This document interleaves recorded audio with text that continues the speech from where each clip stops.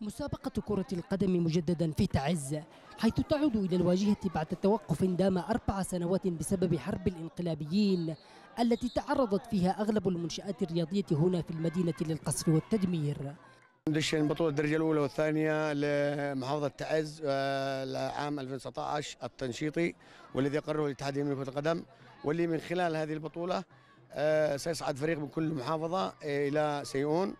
والتجمع سيكون في سيئون والبطل في سيئون هو من يمثل اليمن في المحافل الدولية والآسيوية. طبعا اليوم بعد انقطاع أربع سنوات تلاحظوا الحضور الجماهيري الكبير. هنا يدشن الاتحاد اليمني لكرة القدم الدوري التنشيطي لأندية الدرجة الأولى والثانية للموسم الرياضي 2019-2020 حيث اختيرت تعز كنقطة لانطلاق تصفيات المنافسة والعبور للتأهل للدوري العام وسوف تليه بقية التجمعات الرياضية في كل المحافظات حتى تلك الواقعة تحت سيطرة الميليشيات الانقلابية.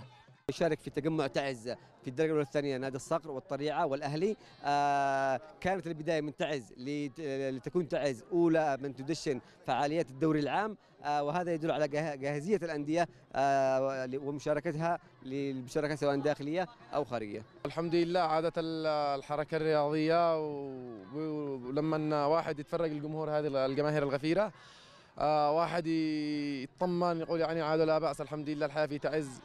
بدأت تعود تدريجيا. إن شاء الله في تقدم مستمر. أربعة أندية رياضية في تعز. هي نادي الصقر والرشيد ونادي الطليعة والأهلي. تخوض غمار المنافسة على ملعب الشهداء وسط حضور جماهيري واسع. يتطلع إلى إنجاح البطولة بعد استئنافها مجددا. مراحل محفوفة بالمخاطر مرت بها كرة القدم في تعز لكن أكثر ما ساهم بعودتها هي تلك البطولات الشعبية التنشيطية التي شهدتها المحافظة خلال السنتين الأخيرتين. وهو أيضا ما ساهم بعودة الروح لكل الأنشطة الرياضية بشكل عام.